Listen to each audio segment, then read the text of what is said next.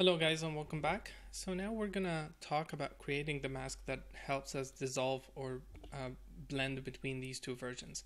And the idea is we're going to use um, uh, a ramp that travels along a specific direction that we want to specify. And to do that, we're going to create a point in 3D and then compute the distance of each of these points compared um, from that position that we're going to specify and then use the that length information to create the ramp that we need. And so the first thing I'm going to do is add use uh, the add node to create a point. And in this case we're going to place it somewhere. And let me check something. So we're going to place it here. And we're going to take each of these points actually let me look at the points without um, the textures. So we're going to compute the distance from each of these points um, against this one here. And to do that we're going to create a point VOP we're going to plug the points. I'm going to reduce the number so it's uh, faster to work with.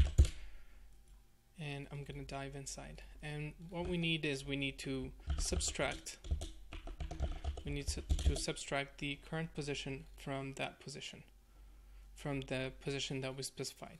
So I'm going to connect P and then promote this attribute. And if we go up, we need to change it to a, um, a vector. And if we go up, we can simply copy this value here and uh, link it. So whenever we move this point, uh, this point, it will update here and we get the proper value and then we're going to simply compute the length of this and then connect it to the color of the result. So you can see right now it's full all white and if we go spreadsheet and look at the one of the red or green or blue values you can see that it goes from 0 to almost 5 and I'm going to dive inside and I'm going to use a fit range node to remap this. So instead of going from 0 to 1, I'm going to say uh, 0 to 6 just to add a little bit more padding. And you can see already that we have some kind of um, gradient going. And I'm going to flip it uh, so we can see it better. I wanted to start black here and on white here. And you can see now we have some kind of uh, ramp that starts white at the bottom and black at the top and if we go up and increase the number of points we should be able to see the gradient better. And now if we take this and put um, plug it through a ramp we should be able to control this ramp here uh, the way we want. You can see by doing that we will be able to have something that travels through the character uh, the the geo that we have here and we can simply animate that to use to blend between uh, the two textures. But I don't want this I don't like this straight line here. I don't like the transition that we have. I would like to break this up and add a little bit more noise. And it's actually super easy to add that. So we're going to dive inside and we're going to add noise to the point position instead of using the real value from the points. Let me change the background. We're going to uh, we're going to add noise to these points just in in the VOP and that will cause it to to distort. And so I'm going to put down an add and we're going to create a noise. Turbulent noise will be fine. I'm going to connect P and simply add that. And I'm going to leave it at that the, at this type. Let me expose a few controls here so we can tweak it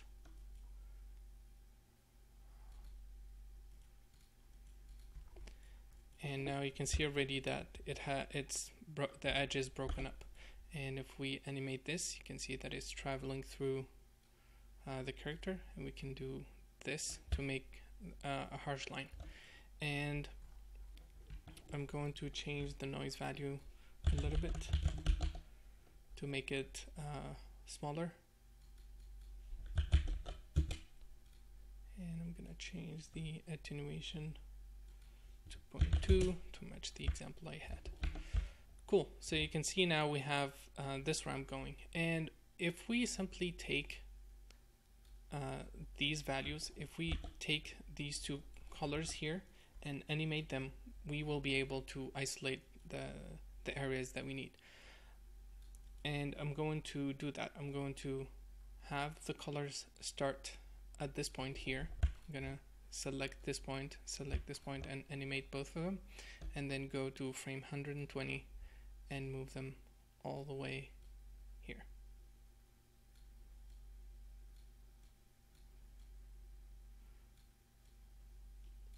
And set a keyframe for both of them. And now if I play through you can see we have the grade the the ramp uh, moving.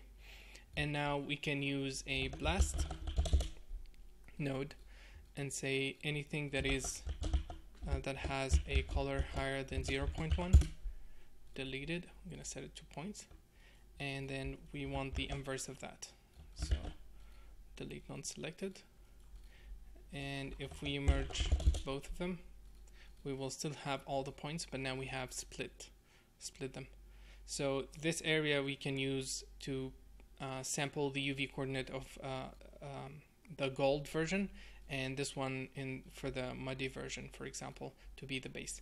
So I'm gonna uh, disconnect this and move it in here and then disconnect this and move it in this version.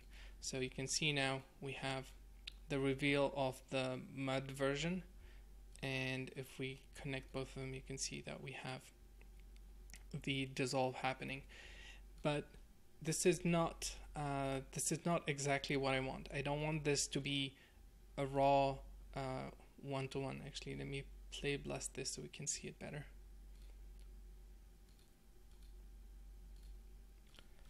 I don't want the transition to be uh, uh, just between two two specific versions. I want to add the particle to help blend between the two the two versions. And whenever something disappears from here, I want it to convert into particles and fall down uh, like the original version I showed. And we can see that the effect is is working. This is the original one, and we're going to add the extra pop sim in the next video. But let me play blast this so we can see it you can see how the reveal is working and it's actually super easy to change it because of that point position that, that we added we can simply move it uh, to anywhere we want and that will make the direction of the dissolve go towards that point. And we only have to remap the values because uh, it's based on the distance of how far that point is from all these points. And let me play this.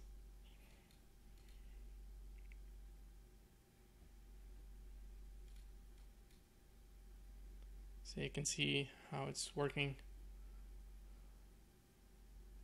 Cool, so now we're gonna add the dissolve, uh, the extra layer using pops that will help blend in between these different um, uh, versions. And I think that's pretty much it uh, for this video. Thanks for watching and see you in the next one. Bye bye.